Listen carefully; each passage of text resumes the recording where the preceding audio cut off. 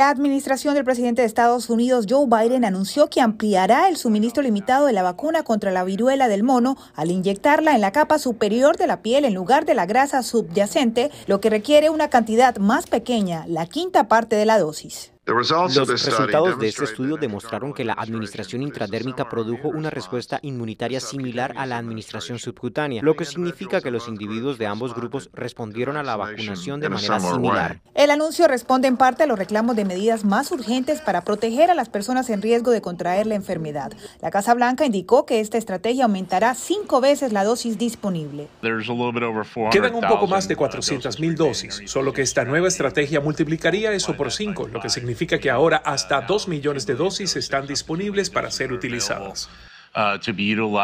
Según los CDC, el brote de viruela del mono ya ha infectado a casi 9.500 personas en los Estados Unidos, con un aumento significativo en las últimas dos semanas. Hoy hemos puesto a disposición más de 1.100.000 dosis de vacunas en todo el país y hemos entregado más de 620.000 de esas dosis. También hemos implementado más de 15.000 cursos del tratamiento TEPOX y hemos aumentado la capacidad del país para administrar pruebas semanales a unas 80.000.